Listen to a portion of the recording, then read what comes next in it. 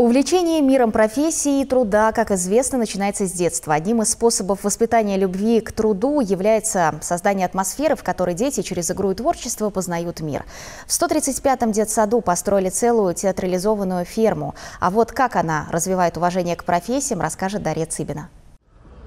В детском саду номер 135 прививают любовь к труду с ранних лет. Здесь создали театрализованную ферму. Так развивают у детей познавательный интерес к окружающему миру. В особой зоне ребята познают азы сельского хозяйства и примеряют на себя различные роли. Кто-то стал фермером, кто-то дояркой. А Алиса Меркушева выбрала себе профессию птичницы. Девочка ухаживает за цыплятами, кормит их зерном, собирает яйца. Профессия Алисе нравится и считает она ее сложной.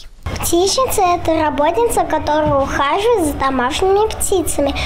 Это очень сложная работа. Она их кормит и следит за чистотой пти птичника. Чистота – залог здоровья. Через такой живой опыт и дети знакомятся с миром взрослых. В форме игры дошкольники учатся ухаживать за животными и растениями и в процессе ощущать радость созидания. Ведь они видят результат своего труда и плод своих усилий. Мы э, во время своего э, воспитательно-образовательного процесса играем с детьми э, в сюжетно-ролевые игры, через которые познаем, что же такое профессия, что же такое работа, и что это значит, я пойду на работу, что я буду делать. То есть, в принципе, мы узнаем, как наши родители работают. Глядя на очарованные профессиями глаза детей, воспитатели детского сада понимают, что подобные веселые занятия помогут дошкольникам в будущем легче адаптироваться к новым задачам, стать ответственными и трудолюбивыми. Дарья Цыбина, Сергей Свешников, Вести, Ульяновск.